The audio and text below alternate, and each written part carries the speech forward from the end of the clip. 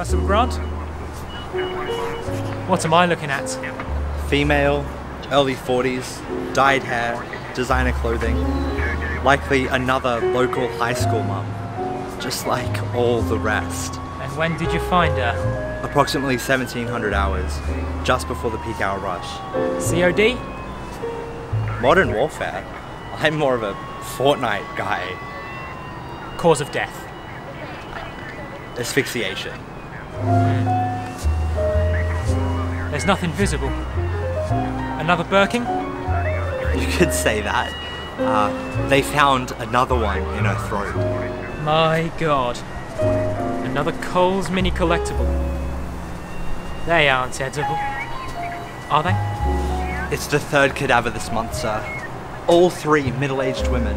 All three died of asphyxiation due to Cole's Little Shop collectibles. First, the Nespresso jug, then the Eclipse mince packet, and well, this one, it's hard to tell with all the blood and chyme, but hopefully forensics will help with more detail. As a pattern. Thank you, Constable. I know who to talk to.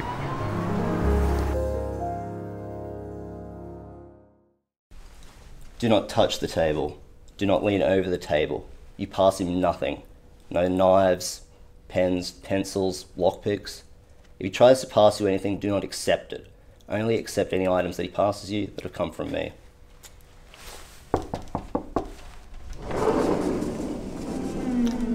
You got a visitor. You boys play nice. He's all yours. Good morning, Dr. Lecture. My name is Detective Bobbit. May I take a seat? Of course, Detective. You're here about that little shopper, aren't you? What a bad little boy. What sort of bargains do you think he seeks? I've been on this case for three weeks, and every single victim has had a different Little Shop collectible stuffed down their throat. Now, it isn't a boomer, because they assign far too much value to these ridiculous pieces of plastic. Nor is it a politician, as that would require them to get out of their office and actually do something. I have drawn the conclusion that it is somebody with a vested interest, somebody who cares. The environment? No. Besides, what could be. Stop! Detective, think about the basic principles. Think of each thing, what it is, and what it is in of itself. Tell me, Detective, what is it about I don't have the time or the filming budget for this, Doctor. Quid pro quo. You tell me where I can find this collectible killer, and I pull some strings to let you retake contracts.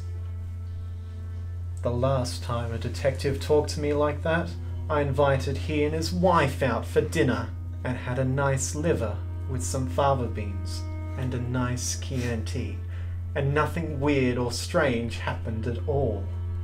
You have a deal, detective.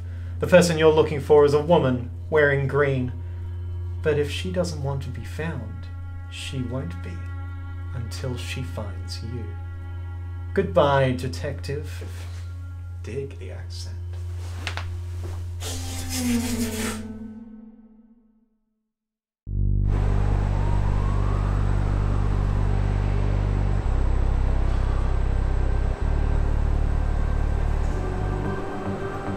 And what are you doing here? You've been asking a lot of questions, Detective. I know you've been looking for me. The green shirt. You're with the Greens? Hardly. I'm much more powerful than them. Well, that's not difficult, is it? Wait, who are you? My name is William Andrea Worths. My friends call me Wool. Woolworths. Woolworths, you're behind this. I admit, when I first released my line of Lion King Ooshies, I thought the boomers would frenzy. I mean, who doesn't love Lion King? I guess my confidence may have come from when I gave up drinking and threw away my liquor license. And then the movie came out, and it looked like Hans Zimmer had a baby with the National Geographic magazine. And to rub salt in the wound, Coles came out with a new line of mini collectibles.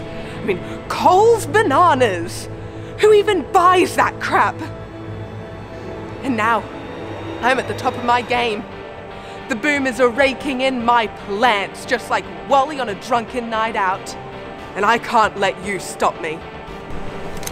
Surrender, Will. It's not worth it. Oh. Thank you for shopping at Woolworths. The fresh food, people.